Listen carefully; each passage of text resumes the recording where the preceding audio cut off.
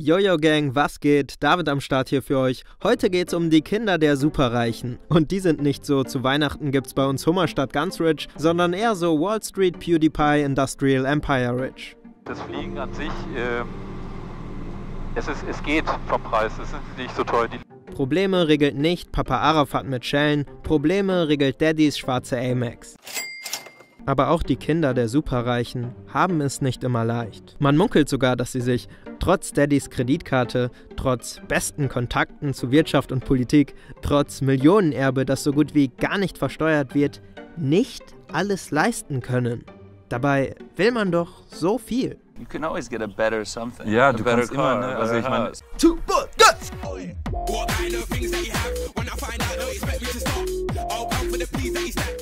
Erstmal dickes Shoutout an die Macher der Doku Die Wahrheit übers Erben. Link ist in der Beschreibung. In der Doku werden unter anderem drei Privatschul-Internatsfreunde auf einem kleinen Wanderausflug begleitet. Dabei erzählen sie von ihren Alltagsstruggles. Ich glaube, ich habe irgendwie 300 Paar Schuhe.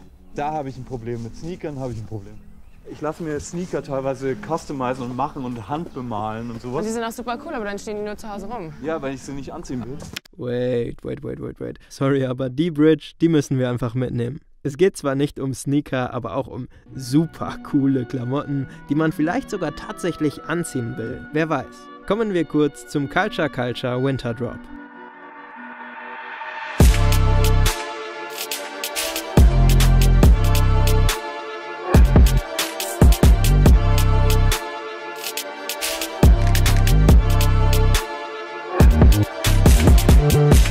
Am 12.12. um 16 Uhr gibt es neue Klamotten auf cultureculture.com. Tragt euch gerne in unsere Newsletter für Early Access ein und folgt uns auf Instagram unter @culturecultureclaw für weitere Infos und mehr Bilder der Items.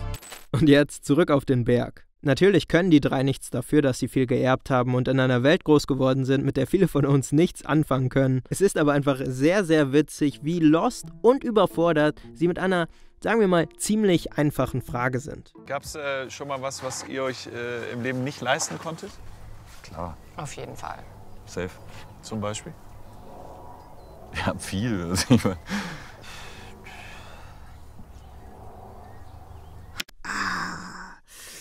Wie herrlich unangenehm.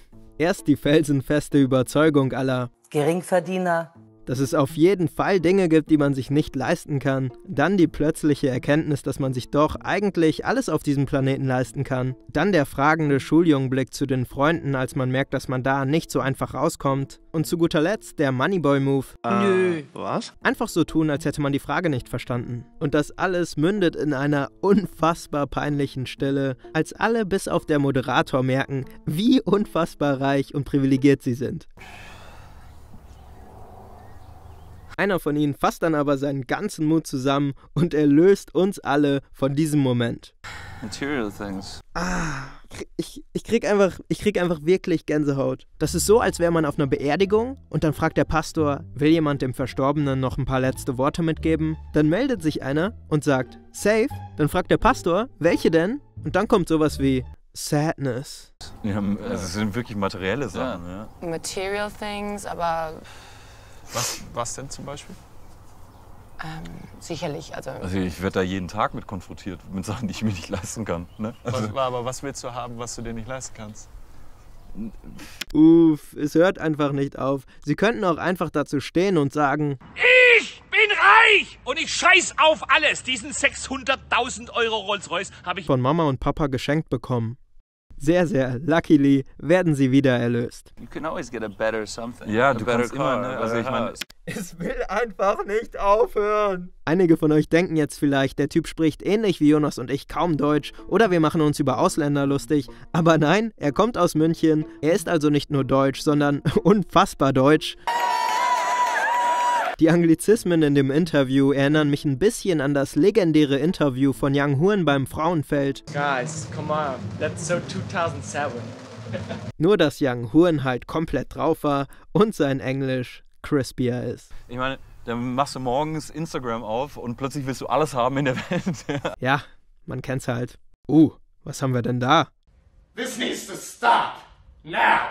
Entschuldigung, zurück auf den Berg für das Schlusswort. Es gibt einige, die eben äh, diese Startvoraussetzungen haben. Dann gibt es andere, die müssen quasi von null sich das selber aufbauen. Es gibt dir einfach mehr Chancen und du musst aber diese Chancen nutzen, um irgendwie machen zurückzugeben und und, irgendwie, ne, mein Dad sagt immer, die Welt zu verändern. Ja?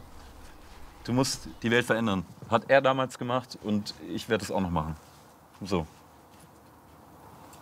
Word. Word. Word. Ich bin, ich bin einfach nur sprachlos. Was soll man dazu sagen, außer Word. Word.